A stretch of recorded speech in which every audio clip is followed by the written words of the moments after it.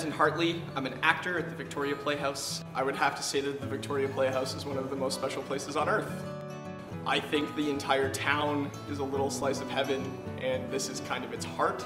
The room itself is absolutely beautiful. Architecturally, uh, community-wise, it's so important to the island to have this jewel here in the in the middle of the in the middle of the island. It's right in the theater's motto. It's the it's PEI's biggest small theater.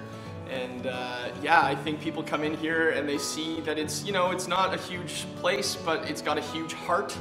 It's got a huge commitment to the community, and uh, it definitely holds a huge place in the hearts and minds of islanders and, and, and people from all over the world.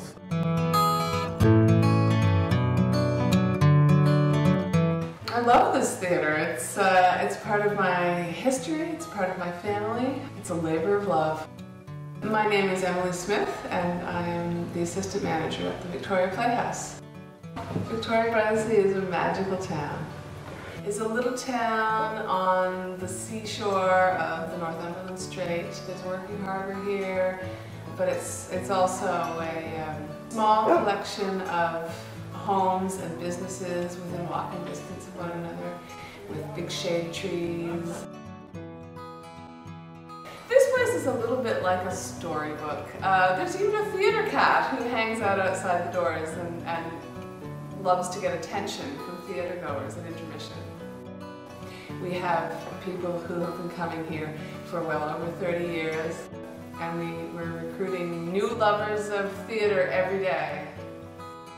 On a, on a typical night you might see a politician sitting next to a farmer. You'd have a, a tourist seated next to uh, somebody who lives in Victoria. So it's a real egalitarian theater.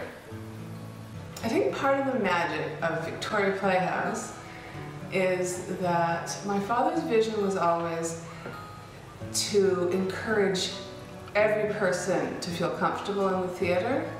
Uh, he always sought out plays that were accessible to islanders of all age levels and education levels. We get uh, comments regularly from visitors and islanders alike saying, we just love your beautiful little theater. And we so enjoyed our night out at the theater. We laughed and we left in a happy mood. I only have two thumbs to give, but I would say between 12 and 20 thumbs up would I recommend this place.